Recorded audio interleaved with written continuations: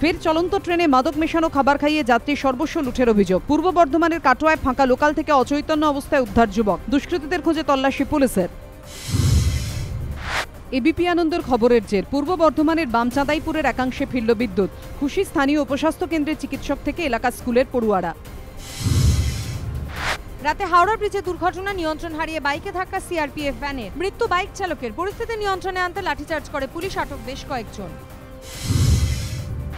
পশ্চিম মেদিনীপুরের কেশিয়ারি থানার কলাবনির কাছে ষাট নম্বর জাতীয় সড়ক অবরোধ বিজেপির গতকাল রাজ্য সভাপতির উপর হামলার অভিযোগে অবরোধের জেরে যানজট, ঘণ্টাখানেক পর অবরোধ তুলে দেয় পুলিশ। রাজ্য সভাপতি দিলীপ ঘোষের উপর হামলার অভিযোগে পশ্চিম মেদিনীপুরের চন্দ্রকোনা থানার ক্ষীরপাইতে বিজেপির পথ অবরোধ। অভিযোগ, গাড়ি আটকে হেনস্থা করা হয় চন্দ্রকোনার তৃণমূল বিধায়ক ছায়া দলুইকে। এরপরেই দুদলের সমর্থকদের মধ্যে সংঘর্ষ বেঁধে যায়। গতকাল সকালে আসানসোলের জামুরিয়ায় স্পঞ্জ আয়রন কারখানায় কাজ করতে গিয়ে নিখোঁজ শ্রমিকের মৃতদেহ উদ্ধার হলো কারখানারই একটি পুকুর থেকে। কারখানা চত্বরে বিক্ষোভ মৃত শ্রমিকের পরিবারের ময়নাতদন্তের পর মৃত্যুর কারণ স্পষ্ট হবে বলে জানিয়েছে পুলিশ। ঘুড়ি ওড়ানোকে কেন্দ্র করে দুই পাড়ার মধ্যে বিবাদের জেরে রণক্ষেত্র হুগলির উত্তরপাড়া থানার কানাইপুর। গাড়ি, বাড়ি ভাঙচুর। পুলিশকে লক্ষ্য করে ইট বৃষ্টি, পাল্টে লাঠিচার্জ পুলিশের, আহত দুই পুলিশকর্মী সহ দশ। ঘটনায় আটক ছয়। দিলীপ ঘোষের উপর আক্রমণের অভিযোগকে কেন্দ্র করে বাঁকুড়ার গঙ্গাজলঘাটি থানার দুর্লভপুর মোড়ে ষাট নম্বর জাতীয় সড়ক অবরোধ বিজেপির। প্রায় পঁয়তাল্লিশ মিনিট অবরোধ চলে চূড়ান্ত ভোগান্তিতে যাত্রীরা।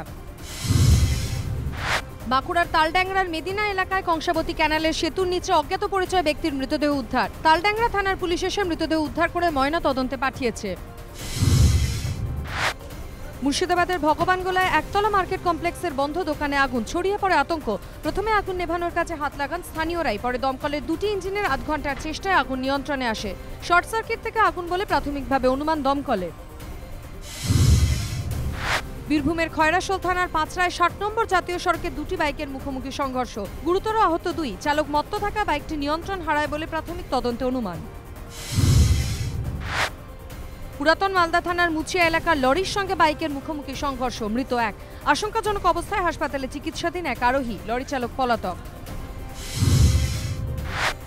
বিশ্বকর্মা পুজোর মণ্ডপের সামনে জল ফেলা নিয়ে দুই প্রতিবেশীর বিবাদ। তার জেরে প্রৌঢ়কে পিটিয়ে মারার অভিযোগ প্রতিবেশীর বিরুদ্ধে। মানিকচক থানায় খুনের অভিযোগ দায়ের। আটক মূল অভিযুক্ত সহ তিন। মালদার মানিকচক থানার পুরানি গ্রামের ঘটনা। হরিণ হরিণঘাটার পর এবারে তাণ্ডব ইসলামপুর আইটিআইয়ে। বিশ্বকর্মা পুজোর সময় বহিরাগত হামলা। প্রতিবাদ করায় ছাত্রদের মারধরের অভিযোগ।